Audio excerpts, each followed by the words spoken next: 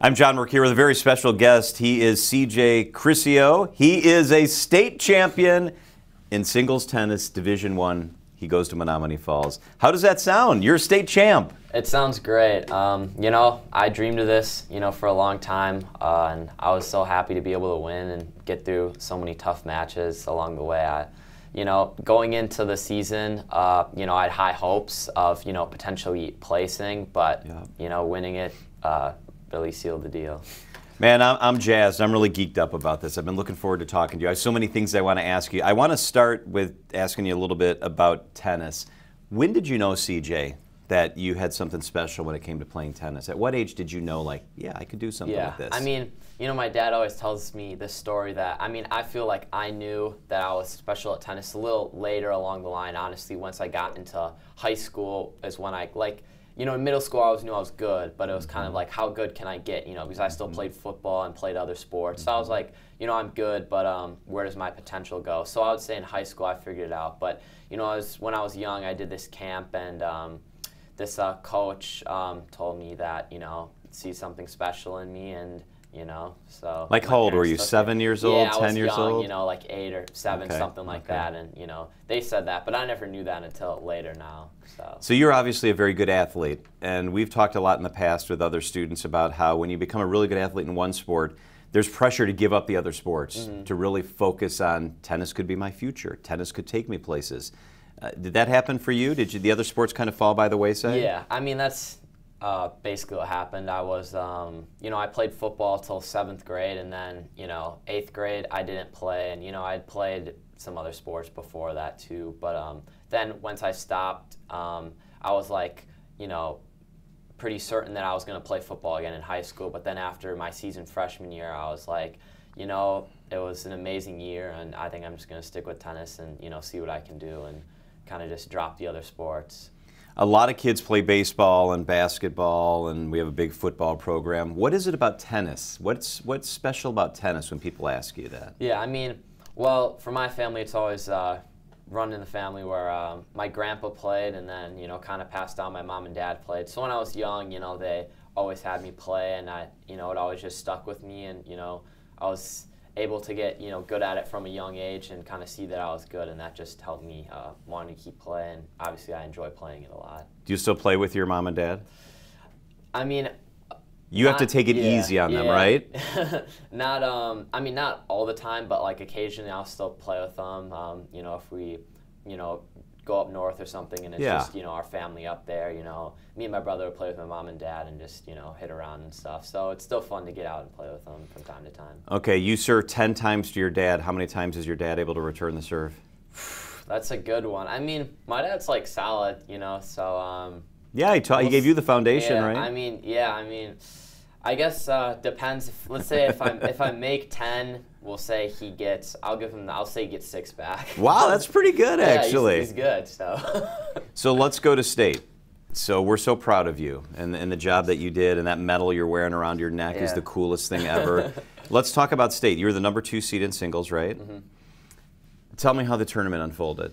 Yeah. So first round, I had a bye, so yeah. got past that round easily. and then. Um, Next round, I played um, two singles from uh, Brookfield East, um, and I was able to, you know, win that one pretty easily. It had was, he uh, had you played him before? Were you familiar with his before, game? But okay. um, one of my teammates did. My two singles needed a close match, so I was pretty confident going to the match. Yeah. I won that one 6-1, 6-2, and that was my only match on Thursday.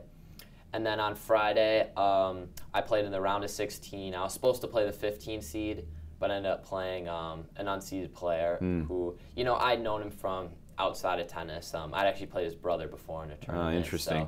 So, so I was, you know, uh, still felt confident going into that one yeah. and was able to take care of business. Uh, I won 6 0, 6 3.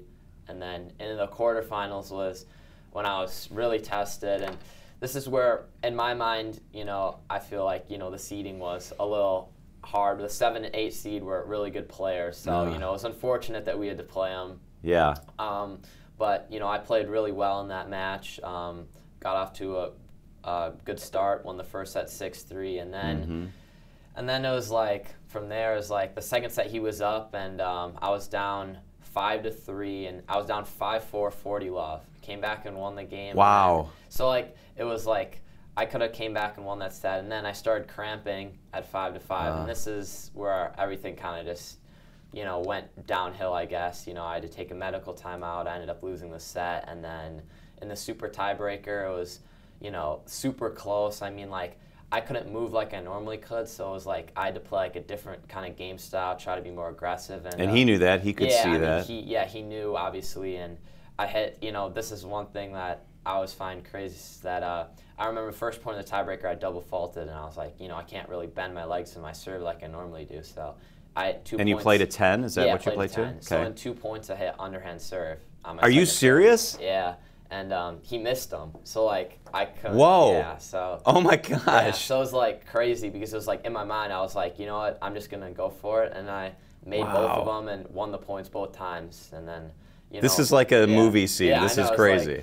And that was earlier in the tiebreaker, and then you know I went down eight five and was just able to work my way back. Went up nine eight, and then we switched sides, and then when we switched sides, you know I was on the side where everyone was cheering for me, and then um, won the last two points and made it to the semis. So yeah, that was a crazy match. Did you feel after that like you had momentum? Is Yes, momentum a real sure. thing in Yeah, sports? for sure. I mean, like that match was kind of like I remember I went down eight to five, and I kind of thought to myself like, like I, I can't lose this match. Like I gotta win this one because I knew, you know, like I knew if I won this match, like that, like I was not in, like set to win the tournament, but like Yeah. I was just like feeling so good. I was playing really well, and I literally saw on the court next to me the one seed lose before my match ended. So in my mind, I'm like, Wow, because doors I, open. Yeah, I'm like doors open. Like you know, I just got to get through this match, and then I can uh, you know do good tomorrow. And I was just you know able to keep battling. And then I was able to get through that. And then after I won that match, you know, I had a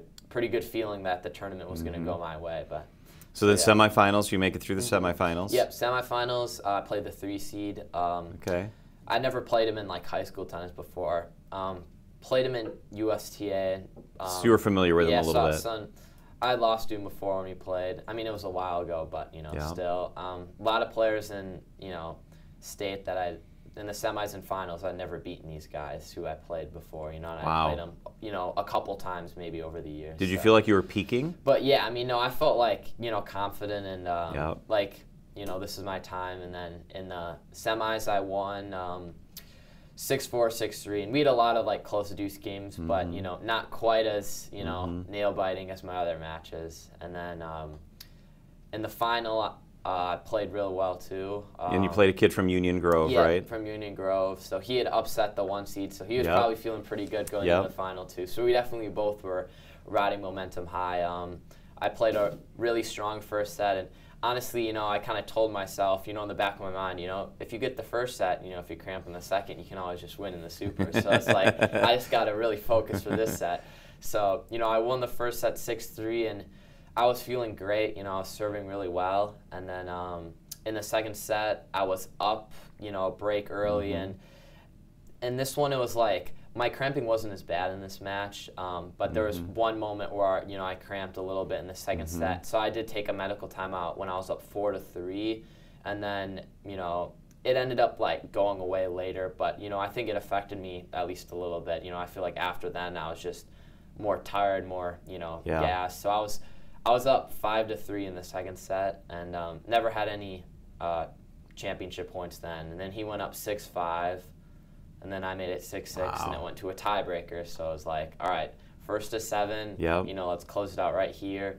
And I went up five to three in the tiebreaker, and then I lost four in a row to lose the set. So Holy was like- cow. so I was like, you know, Wow. it was like honestly, you know, some people would say I choked the set, you know, up five to three. You know, how could I lose? But it, you know, in my mind, I was like, I just had to kind of, you know, wipe that set, be like, all right, Yeah. it's fine. You know, just ten points. Um, and in the super, I was only down really in the beginning. I went down four to two, so we switched sides at four two, and then I was kind of just able to you know dig deep and really find it. And then I went on a run. I was up seven to four, so I won five in a row. And then we switched sides at seven five, and then I went up nine to five.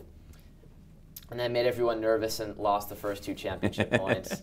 And then at nine to seven, I was finally able to close it out. Luckily, missed a shot early in the rally, so I didn't have to work too much. But I mean, Man, congratulations. Yeah, That's was, um, fantastic. it was crazy. When you're out there, I met your mom and she's lovely. Can you hear your mom? CJ, let's go! can you can you hear your mom or do you block everything out? Do yeah, you like I mean, block like, it out? I feel like for sure. I mean, like after the points, um, you know, I'm gonna hear, you know, the crowd cheer and stuff like that. And I mean, it kind of depends. I block out, you know, what I want to block out and Yeah. hear what I want to hear. So it's, you know, if Yeah. I win in the point, I want to hear the crowd cheering for me. You know, if I lose the point or you know something happens, and I'm just gonna try to tune it out the best I can. So the superintendent and I talk often about how important it is to have things in the school district for kids to do besides in the classroom. Yeah. You excel at tennis. Whether it's tennis, drama, music, how important is it that kids find something that they are passionate about? I think it's really important. I mean, you know, I can't really imagine uh, my life without tennis. You know, it's a big part of me and you know who I am, and um, you know I do it all the time. So it's really important. I think you know it's good for everyone to find something that they can do. You know, outside of school, just to keep them you know happy, entertained, busy. You know, just a good thing to do. You can meet new people, so it's great sure. How much of a blessing is it to be in the Menomonee Falls School District and have the support system and the opportunities that you have? Yeah, I mean it's great. Um, you know, Menomonee Falls, you know, I uh, like everybody here, and um, you know, wouldn't want to go to another school, and you know, super happy to win it for Falls. So What do you say to young tennis players or young actors or other people that have a dream but they don't know how to pursue it or they're kind of nervous? yeah, I mean, I would just say, you know, be confident and believe in yourself, and you know, trust that you know you'll be ready, you know, when it's your time, and you know, as younger, like I said, you know, I wasn't winning, I wasn't beating all these people when I'm younger, but now that I've gotten older and I've gotten better, now I'm starting to win. So it's, you know, sometimes it takes time and, you know, it takes a lot of hard work, but, you know, just keep believing in yourself and, you know, you can accomplish anything. All right, so you have another year here. You're going to defend your title. You're going to be a two time champion when this is all Yeah, said and that's- done. That's, the goal. Will you play tennis in college? What are your kind of your broad goals? Yeah, I mean, I'm trying to play in college. Um, you know, I was telling you about I looked into a couple schools. Um, You know, I still gotta still gotta figure it out. You know, um, for the most part, but you know, I'm hoping to play somewhere. Um, you know, trying to go to a bigger school. So, you know, we'll see. Hopefully, um, winning the state title can help, and uh, you know, yeah, we'll see how it goes. I saw the pictures of you on the podium. You looked comfortable. You look like you belong there. Yeah. You've got the medal around your neck. How good's that medal medal feel? Uh, it feels feels great. I mean, you know, every time, you know, it's just in my room, so you know, I can just go and look at it if I want. It looks uh, good on you. Yeah. Um, I mean, yeah, it just feels great to have won, and yeah.